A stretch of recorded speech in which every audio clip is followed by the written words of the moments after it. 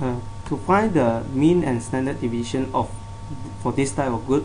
data what you need to do is you have to find the uh, midpoint x for the data before you key in the data into your calculator.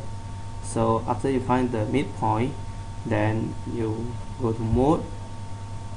and stat and one variable and you need to press shift mode and down stat to on the frequency. And your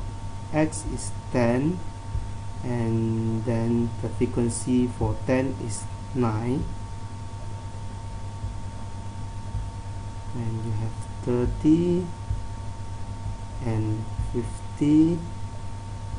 and the frequency is 67 and 33 okay so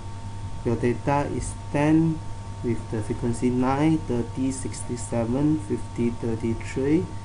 so after you make sure your data is correct then you press AC